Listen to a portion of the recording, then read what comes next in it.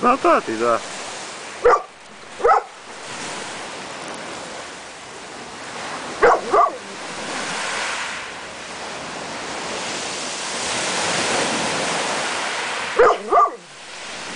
Păi du-te în apă.